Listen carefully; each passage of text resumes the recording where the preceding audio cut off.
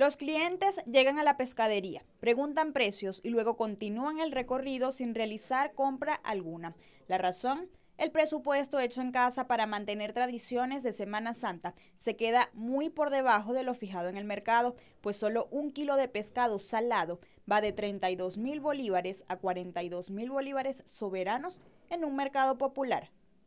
Oh, hija mía, con esto, con esto no podemos comprar, por, lo menos yo como no me alcanza la pensión, si compro quedo sin nada. Todo está caro, inaccesible, no se compra, no hay tradición este año.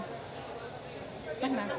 La verdad no, no creo, o sea, sobre todo las familias, o sea, si tienes niños, esto, o sea, tal vez si son tu esposa y tú, pero de todas formas no, no creo que dé para una cena como la que uno tenía hace 15 o 20 años atrás, la verdad es que no.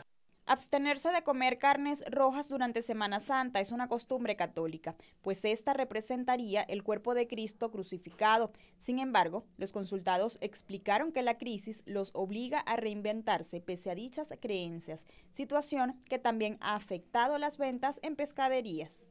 Eh, para los pescados más baratos, sí, te puede llevar 2, 3, 4 kilos pero lo que son productos ya por lo menos importados, no, un sueldo mínimo no, no alcanzaría. Preparar dulces es otra de las tradiciones que tienen los venezolanos durante Semana Santa. Sin embargo, un coco, que es la fruta que más se utiliza, cuesta 5 mil bolívares. Eso es igual a 27% del sueldo mínimo. En coco serían 20, en azúcar 25, mira, como para seis personas en 30, 40 mil bolívares. Nada más que para un arroz con coco, de meter al majarete, que sería muchísimo más. Eso tumba las tradiciones. A los dulces no, eso no se puede hacer, que el azúcar está muy caro.